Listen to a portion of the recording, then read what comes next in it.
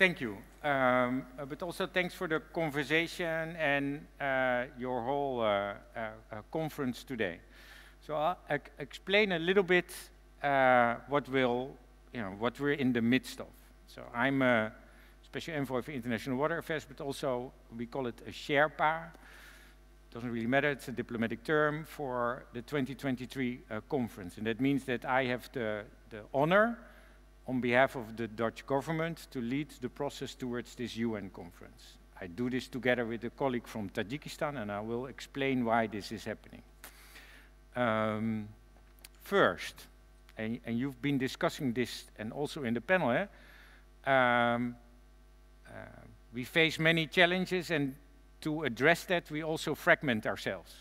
It's uh, almost human, eh? is that we organize ourselves in little silos and then or bubbles, as we uh, also now understand, and then feel pretty comfortable, and then all of a sudden we understand it actually is very uncomfortable, eh? because what we create is actually uh, more challenges because of that. Um, uh, and with water is even perhaps, I wouldn't say worse, because that is a negative term, but you know, it's pretty dynamic. Eh? Uh, water is everywhere. And on the upside, eh, as uh, Ban Ki-moon, former Secretary General, always used to say, he said, water is life. And it, came really from, you know, his, from his heart, eh, not only from understanding. And that is true, eh? it's connected to everything. But try to organize everything. Eh? We had a panel that was trying to address everything, and you know, pff, it's almost impossible. Now, at the UN, the United Nations, they understood that and said, well, we're not going to organize it at all. So if you want to pick up the phone and call the UN on water, nobody picks up the phone. Eh? Knowing that water is life, that is actually pretty disturbing. Eh? So uh, there is no UN entity that is responsible for water. And some of you might say that is not true. You have UN Water, but UN Water is not an entity, it's a meeting. So they called the meeting UN Water, and the meeting itself is having everybody at the table because water is life, so you organize everybody. Eh? So here we are again, you want to call, nobody picks up the phone. There's another reason for that, and that is that water doesn't really care about us in the sense that what we do. Eh? So your aquifer, your rivers, your streams, your lakes, our oceans and seas, they cut across every border humans make. Now put that in the context of the United Nations, that means that when you talk about water in the context of the UN, you talk about, you immediately touch upon sovereignty. Well, countries like the US, China, Turkey, Ethiopia, and so forth, uh, also in Europe, really don't like the UN touching upon their sovereignty, right? So let's not do water. Uh, then we still have UN Water, and water is very much part of the conversation on climate, is very much part on the conversations on security. So it comes back in a lot of these conversations, but there's no owner. Then we have 17 sustainable development goals. If you lost me, tell me, eh? then I, you know, then I you know, try to do it in a different way. Eh? Then we have 17 sustainable development goals, and every sustainable development goal has more or less an owner, except for some, and we call them orphanage SDGs. really? Yeah, really. No, you feel sorry, eh? It's like, where's the, where's the institute that cares for them? Uh, oceans, the Oceans SDG is also such a SDG. Now to overcome this, eh, so long story, cut short, to make sure that water in its full breadth and width, not only wash, but water everything, eh, water climate, water health, water, I have to this is a little bit how I work. I'm sorry, but I have to talk about water and health. Two years in the pandemic, right? Two years, a global campaign on WASH. I think every global leader, including your mother, father, cousin, brother, has said, wash your hands. Right? What did we do?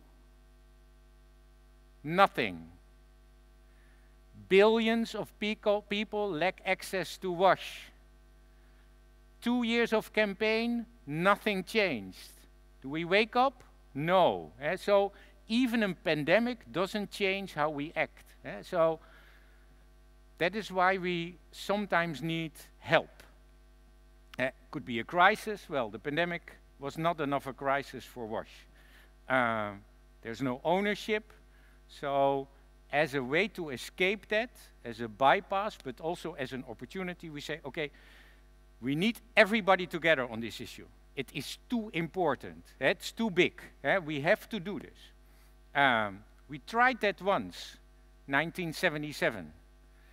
There was the first UN Water Conference in Mar del Plata. Some of you might remember. I was 10 at the time. I definitely don't remember that conference. Uh, although I was already uh, a, a, swimmer and a sailor and stuff like that, I really had no clue about the conference.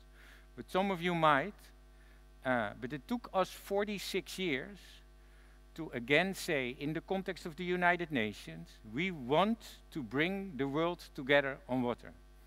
And there was a resolution. A resolution is like an agreement of all countries in the context of the United Nations, the General Assembly, which is like the parliament for the United Nations, that said in December 2020, we have to come together on water. It is too important. We have to do this. And they asked or tasked, one letter, big difference, Tajikistan and the Netherlands to co-host the conference. Uh, voluntarily, uh, we, uh, uh, Tajikistan and the Netherlands both said that we are willing to do this. Now, why Tajikistan and the Netherlands? You need two countries, a global north and a global south. More or less not representing everybody, but at least having a voice from the, the, the two sides. Um, we volunteered, but also tested the waters. You know, do the Germans want this? Eh? Mm, eh, then forget it. Uh, or the Swedes, uh, but um, or uh, the Finns, uh, the Hungarians, uh, Australians. Uh, but they were okay if the Netherlands would co-host. Tajikistan was always there. Tajikistan is the water champion in the context of the UN. Tajikistan led the first, the second, and now the third water action decade. Eh? They are water. So I was in Tajikistan before, but I was now in Tajikistan in the context of this working relationship. We brought our UN partners uh, six weeks ago. Uh, we did three days of workshops, regional workshops too, and we had a press conference after, and we had like a room full of people like here. In the Netherlands, if you do a press conference on the UN Water Conference, I think nobody would show up. Eh? So in Tajikistan, 50 people in the room. First question, after Sultan Rahimzoda, who is my colleague Sherpa from uh, Tajikistan, and I explained what we were doing. First question from a journalist, and she said, Mr. Ovink, a question for you. Fantastic narrative, totally understand the importance, and a no-brainer for us in this room that Tajikistan is the co-host. But I really have no clue why the Netherlands. So here you are in your water bubble. Huh? You think, what did she say? No clue about, okay, opportunity, now I can talk. Now, interestingly, Tajikistan is the source, providing 70% of all water in Central Asia. Uh, I think one of the biggest glacier complexes of the world. Highest mountains, biggest dam, largest dam, highest dam, again new.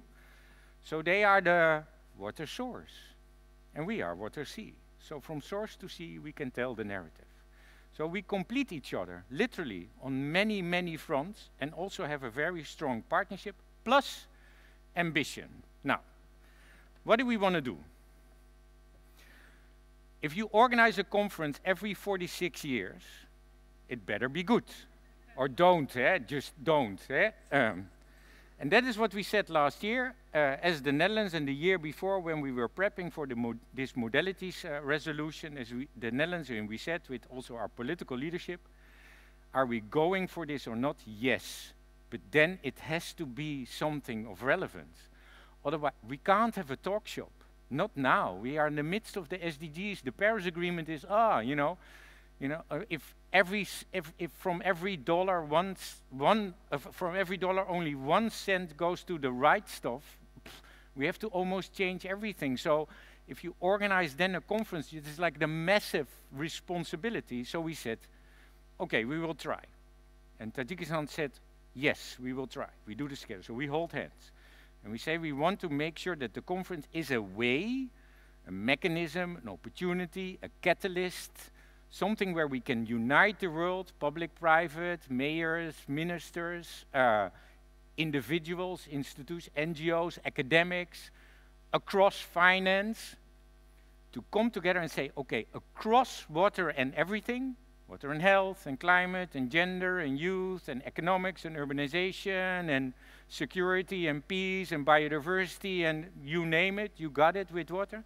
Across everything, we have to be able to identify what is the gap, what can we do to bridge the gap, what are the coalitions that help us, what do we need to organize, governance, finance, capacity, projects, pipelines, programs, and across to make sure that we start to make not only progress in that context, but also see what the opportunity is of who does what and how can we bring it to scale so that 1% that we understand where we have parties on, that we can scale the 1% to 2, 4, 16 and a majority.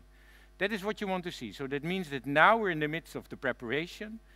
We have a little, we have like a week and a year uh, ahead of us where we want to collect from across the world, so also from you with this agenda, but you have to own the agenda. You can't put it on the mail eh, and then say, bye, Henk, success. No. If this is your agenda, you have to come with me. You can't throw an agenda into the fire and say, you know, it burns. Eh? You have to own it. So you have to be part of that agenda and that coalition moving forward and say, okay, this is what I think we can do together in this field of water. This is what I want to bring or we want to bring in a coalition to that conference.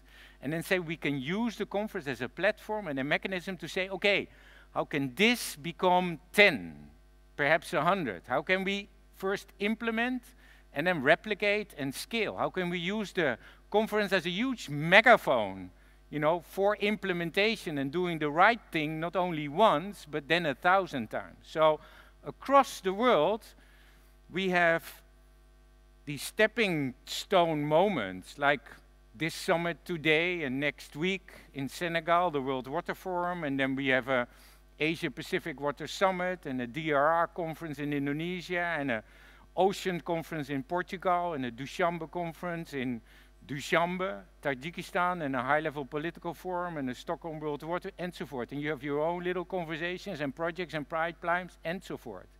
From every part and place around the world, region and partnership, there are opportunities to do the right thing better and then bring it to scale and to this conference. And if we have that whole global family of initiatives and coalitions that own, eh, that stand behind what they commit, that we can bring to New York, and then from New York back to the world, then perhaps in that water pact, as I said, he said we have to bring that together, let's, let's call it a pact, a global pact, not a pact as an institution, but to hold hands, to really feel and, and capture that and say, okay, this is what we can do, this is what we will do, this is not an empty promise, but really a pledge that we want to see through and then scale and replicate in the context of the commitments that we can make. And it means that the conference is only mid in the midst of a process where the prepping is now, the conference is next year, and then we have seven or more years for implementation, for learning, for validation, for evaluation, for scaling and replication following. That's a little bit what we're going to do.